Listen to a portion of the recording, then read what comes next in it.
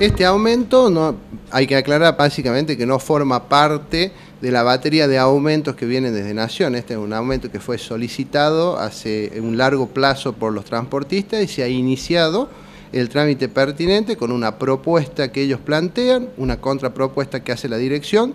Nosotros entendemos que es imposible aumentar el precio del boleto más allá de lo que se pactó en paritarias al general de la gente en lo que es las dependencias del Estado.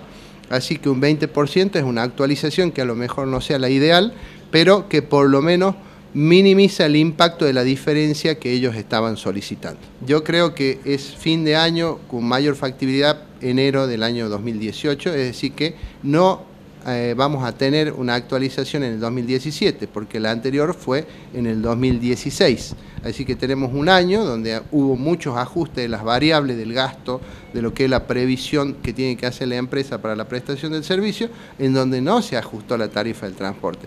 Esto lo quiero aclarar porque no implica un aumento dentro del conjunto de los aumentos que se están dando.